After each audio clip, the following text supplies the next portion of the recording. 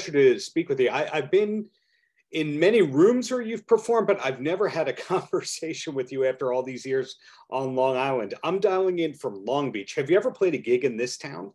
Um, I don't know if I ever played Long Beach, but it's funny. I was just talking about a gig we did in Island Park, which is right down the block.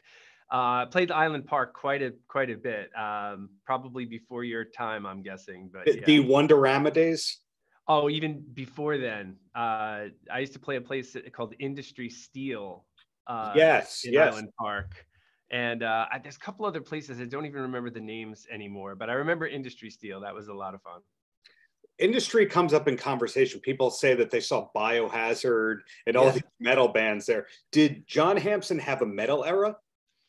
I I wouldn't call it metal, but I definitely was in a like a big, so we'll call it big rock with like big guitars and uh, early '90s, uh, right before I started Nine Days. Uh, that I was I was in a band. I played I played guitar in the band. I, I didn't I wasn't the singer, and we played a, all the clubs on Long Island like Sundance and Bayshore and Industry oh, yeah. Steel and um, got like Spit in Levittown, like all these like rock rock cool clubs that just died like around 1993, four, somewhere in there. They just all died.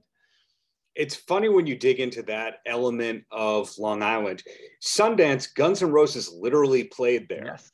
Yeah. The biggest bands ever played at all these clubs on Long yeah. Island. And I, I, remember, I don't mean to cut you off. I was gonna take a quick. I remember a friend of mine trying to get me to go see a band called Allison Chains at Sundance, and I thought that it was Allison, like the girl's name, In Chains, and I, that sounds like the dumbest band. I'm not going. Big regret. and then a couple of miles from industry, if even that, that club, the Action House, where Pink Floyd and Zappa and the Grateful Dead oh, all God, played yeah. around here, the Doors, etc. I didn't even know that. Wow, that's crazy. Yeah, I missed that one. But the bottom line is, we're talking here, and you have decades of playing the highest tier levels and the lowest tier levels on Long yeah. Island. Oh yeah. You played the Garden thanks to the Jingle Ball. Uh-huh. So many headline gigs, and there's been a cool renaissance with your music in the past couple of years. Mojo Music and Media, I think, has a little bit to do with that, or did they come on board after the sync started happening?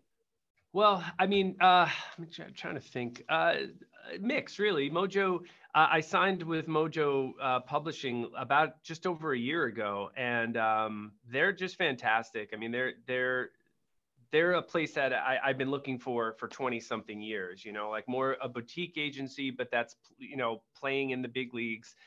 And uh, it just so happened that you know I was introduced to uh, to Mark uh, Freed, who who runs it, and um, you know, like so I, I didn't think about it at the time, but like whenever I'm talking to somebody at that at Mojo, I'm literally talking to the top guy.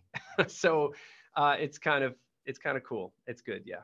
So rewinding, you know, everything everywhere all at once, that happened. The Jordy usage where she adapted your song happened. There is the Apple TV show that used it about two weeks ago you're good at keeping secrets. A lot of artists would be teasing, or they would they'd be saying right. big things happening, big things happening, but you were able to keep a secret on all these. Yeah, I'm, I can keep secrets, and I don't mean that in some sort of like sketchy way. I just I honor I honor it. You know, when when somebody needs me to keep quiet, I will honor that. And I also I'm not a big fan of the announcement that we're gonna make an announcement. Like I always kind of find that like redundant. Uh, but also with all these projects, like with the film, uh, you know, that's not my film. I'm honored that I got to be part of it. I don't want to like be the one who's talking at a turn or spoiling something. And uh, and and the same thing with Jordy. Um, and, and, the Jordy thing came up in the summer, and and Mojo was a big part of that uh, and helping me make that happen. Um, and that was Jordy's thing. You know, that's that's his song, and I, I'm like honored to to have this connection and and to have played a part in inspiring it, but that's his thing. And I, I same kind of thing. I, I, wasn't about to go out and start, you know, spoiling it. I actually, I, I was in his video, did a little cameo, and I did post one picture from the set, but I didn't say anything about. I just said, "Hey, I'm going to be in a in a video," because that was too cool to not put out there. But I, you know, I definitely didn't want to reveal anything that that wasn't my place to reveal. Well, it's a cool resurgence, as I said, because for Long Islanders, nine days never went away, but the full time touring aspect of your life went away once you became a teacher at a high level. And everyone, the legend of Mr. Hampson is wide in a, in a very good way. But is it now more of like a summer and holidays thing, the way that you view your musical career? So, without getting too deeply philosophical about it, here's here's the honest truth. Like I could not get away from from music and and writing if I wanted to. And I have many times thought to myself, my life would be so much easier and less complicated if I didn't have this hmm.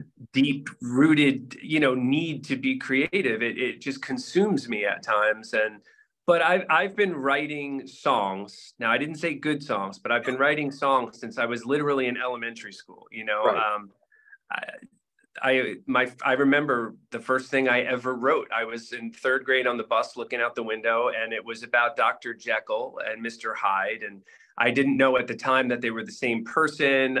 I just knew the gist of it. Um, but anyway, the, the point is for me, it's just my life. It is who I am. I am a creative musician, creative writer. Um, I'm always writing something, whether it's lyrics, poetry, uh, or melodies and music. It's just, it never stops. It's never left. I have been creative, you know, every, I don't want to say every second because that's not true. And, but uh, forever. I, I've just, it's just who I am. So I don't think of it in terms of summer or weekends now. In terms of if I'm going to go play shows, yeah, uh, that's a different story. That's managing it. You know, like if I'm going to go out and do shows, it's going to be on the weekends and or in the summer. Um, but I don't think of it that way in in terms of the music. You know, it's it's not it's not something that I sort of dust off every once in a while and and do. It, it's pretty much part of my everyday life. Yeah, the timeline of nine days is also incredible in that it overlapped with so many other Long Island bands that got signed around the same time in a variety of genres. So Stage was happening, that was another mm-hmm. band. Mm-hmm. Diffuser was around the same time.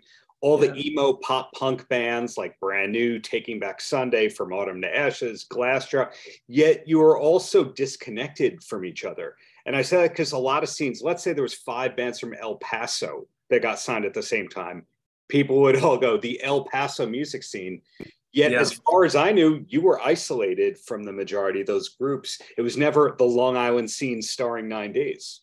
No, um, yeah, it, it's weird, and I don't really have an answer for it because I'm actually doing a show in May with Wheatus, and they're from Long Island. Yes. I don't think we've ever met, and you know, we we came out at basically the same time. I, they had a teenage dirtbag, a hit in 2000. Story of a Girl came out in 2000. I don't know. I have no idea how we didn't cross paths. Diffuser, I didn't meet uh, until after, well after everything. Uh, the guys in stage, I remember them, but I, I, I remember them more because there was a contest for opening for Bon Jovi at Jones Beach in like 1998 or seven or something, and they beat us out in that, and so we hated them. we didn't know him, but it was like those son of a, you know. Um, yeah. But there were a bunch of bands. There, there was um, uh, Fuzzbubble was a great band, and they got signed yes. to Puff Daddy's label. Uh, I was friendly with some of those guys. I knew, knew a couple of them really well. Um, there were a lot of bands, but yeah, there.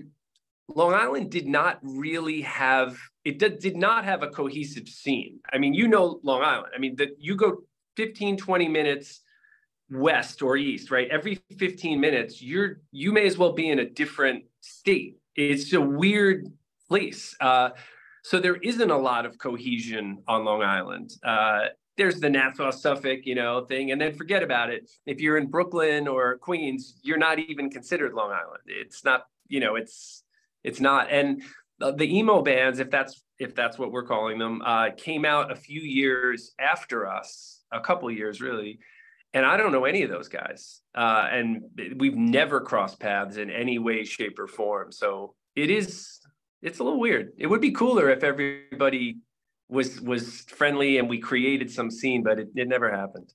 Trying to con- connect all the dots here. Was any of the nine days merchandise ever done by Merch Direct? Oh God, I don't honestly don't even know. Um, I don't remember, you know, there there were certain things I was really hands on with, but not not the merch. I I don't know. It's possible. Oh, I just don't that, know. That would have been your connection to Glassjaw because that okay. company was co-founded by the guitarists to Glassjaw. Oh, maybe. Yeah. Who knows? All the emo bands. I think their third and fourth clients were Taking Back Sunday and Brand New, and then the ascent of wow. everything happened. Yeah, but I would I would venture to say this is the first time in history, the past couple of years, where Long Island has actually been a cool, recognized musical destination. Seeing the number of venues that have opened up and stayed mm-hmm. open, that there's a good gig every night of the week. Yet that wasn't the case in the early days of Nine Days or Wonderama.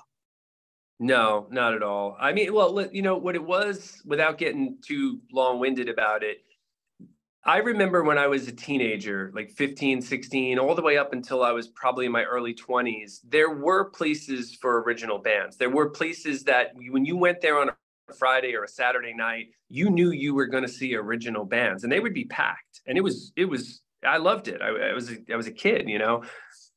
But then I do remember sometime in that early 90s, uh, they just kind of lost it. And, um, you know the cover band world was blowing up and I got involved in it sort of reluctantly. I had no interest in it. I always want I was always writing my own music. I really had yeah. no interest in cover. But you know, so I, am working a job. I was working at Musicland actually in Lindenhurst, and I think I made like two hundred and fifty dollars a week there uh, plus like commissions, which could be a few dollars. But I remember my rent was like 375 bucks. So it was fine. I could manage, you know, I didn't need much. It was just, that was, I was enough. And then a friend of mine was like, Hey, we really need somebody to fill in. We're doing this cover gig. It's a Tuesday night. I'm like, fine, I'll learn a bunch of covers.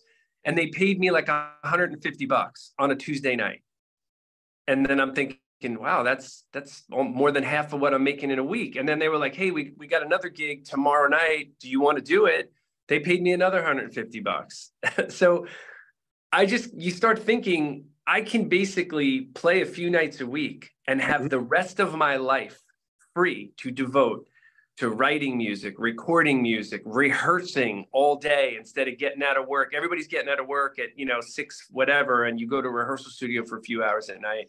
So I slowly convinced everybody, guys, let's just let's just do this. We will have all of our time to be creative. Now, on the downside of that was we we weren't touring. You know, we were playing tri-state area and and making money so that we didn't have to go to a day job and we would spend our days in studios and writing and demoing and uh, and that worked for us. We were we were a tight band. We were playing literally four or five nights a week. So it worked.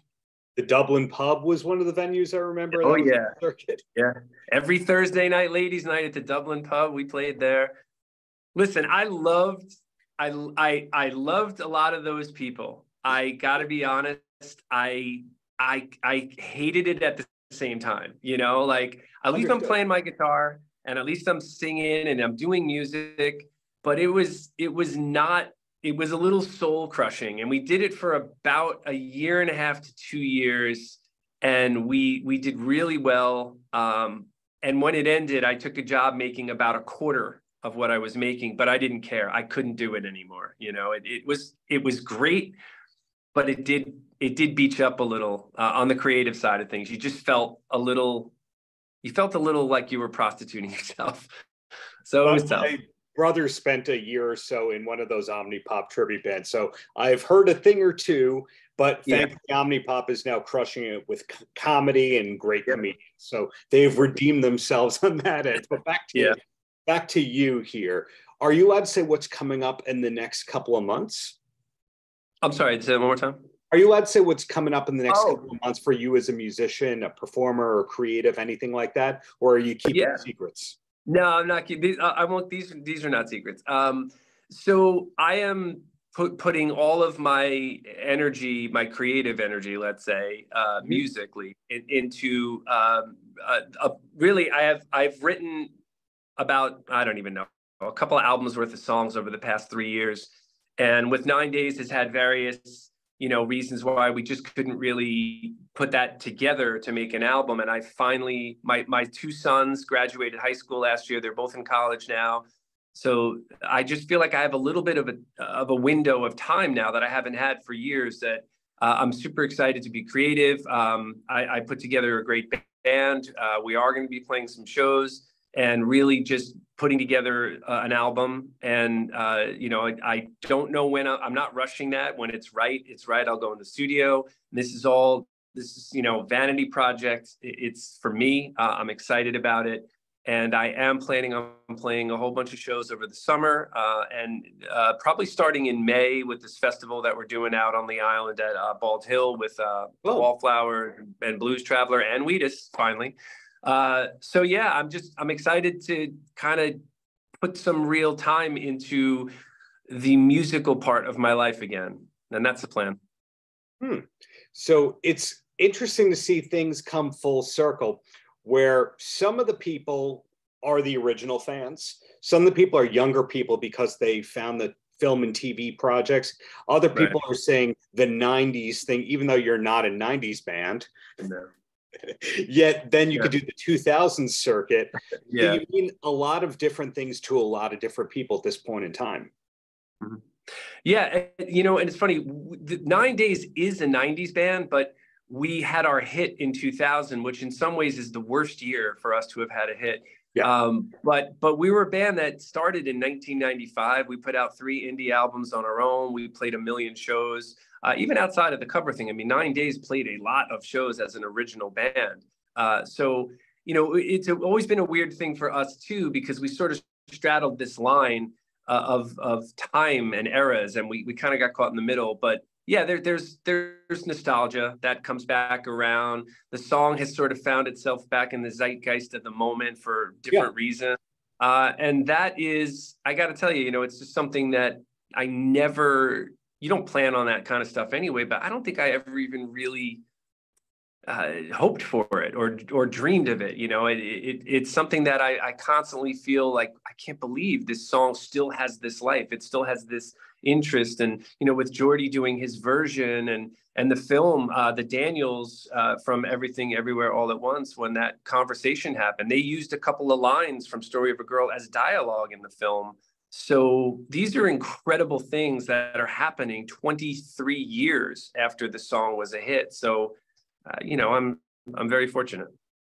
The last question I have for you, speaking of the song, and keep in mind, I loved the second single more than I did that song. I'll, Thank I'll you. play the elitist card on that end.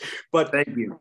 With Story of a Girl, when did it go from this is our hit, we've played it too many times, because when you're making a music video, you have to lip sync it a hundred times and you never want to hear it again. And then you have yeah. to play it at every radio. I get that. But when did it yeah. go from that to the people are excited? I love it. And it does not feel like a monotonous task to play this based on how the people are reacting. You know, I'm going to be honest with you. I, I, there have been shows where I have felt like weird that I have to play the song, but there are shows that that are I'm at home and I know half the audience, and they're like people that maybe are to mine, and I know they're all like kind of like, oh, geez, you got to play it, but I don't really think I ever felt that way about the song, and it's because I always I knew from pretty much the moment that I wrote it that there was something different, that there was something special about it and it was our ticket you know? We we were banging on the door and trying to get to bigger and better things for a long time and and when that song happened i just knew i was very well aware. I wasn't a kid i wasn't 20 years old i was 26 when i wrote it and i was 28 when it finally got released so that's young but it's it's not that young when you've spent at that point literally since I was 18. I mean, I graduated high school and that was, I was all music. So 10 years to get to that point. Yeah. So I never took it for granted. It, and, um, you know, I just, I'm, I'm grateful for it. You know, I don't, I don't begrudge playing it. You never know with that because, you know, one of my favorite bands, Nada Surf, they didn't play popular for a lot of years. That was the resentful right. major yeah thing. I think Superdrag was not playing sucked out for a couple of years. So yeah. sometimes there is that natural hate towards the hit, but glad to yeah. hear that you're popular. I'm sorry that you're favorable about the whole thing, even all these years later. Well, I, I will say there was one show where I didn't play it because I was kind of like, ah, I'm not going to play this, and it felt so weird. I was like, why did I do that? Why why did I not play that song that everybody wants to hear and, and is happy to hear? What what did I just accomplish? You know, like some artistic statement. But I do understand why other bands would not. You know, I do get it. But for me, uh, I tried it once and I was like, that was just sort of indulgent, and I should. I just felt it felt incomplete to me. So I'll play it. Well happily. said. Well, I'm looking forward to that gig that you talked about with the Wallflowers. I'm looking forward to that new band with the new music and all that. But yeah. in the meantime, thank you for the many years of great music, John. Thank you. I appreciate that so much. And and I love that you you talked about if I am the second single because that's the one that I thought I was like this is the one. This is when people are going to realize wow these guys are a great band. They're not just a one hit wonder, but life had other plans. The the strings, the build up to the chorus, hey, you never know. It might have that sync placement thanks to the team at Mojo in the near future. So fingers. yeah, let's let's get Mojo on it. Thanks, Darren. I appreciate Thanks. that. Have a great rest of the day. Take care. You too, man. Take care. Bye bye. Paltrocast.